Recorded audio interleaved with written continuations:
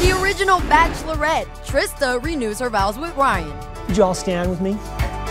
The moment perfect in every way, Trista and Ryan with their two youngsters. Cameras abound, capturing every joyful minute. But here's what only ET's cameras captured the moment the ceremony was almost canceled. And I pulled out my vows from before. It started when we asked Ryan about his vows. I really liked the vows that I said the first time. With that, the tip as our cameras rolled. I thought we decided at the condo not to do them, period. Because I didn't bring mine.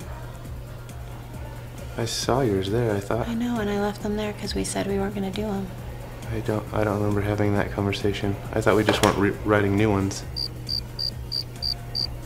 Okay. I don't know what we're doing with our vows. Lots of drama unfolds way before The Bachelor Love Stories airs Sunday on ABC. For me, it's going to be more off the cuff. We're kind of gonna meet in the middle on Yeah. that one, it sounds like.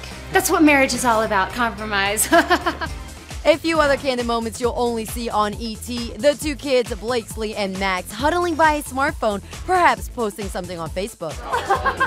Trista, the social butterfly, as guest play paparazzi. Then she poses for the wedding photographer. A little higher. Go higher. Ryan with a last minute hug for his daughter. I was a little nervous on the drive over here, I'll admit, but I think it's more excited nerves. I pronounce you still husband and wife.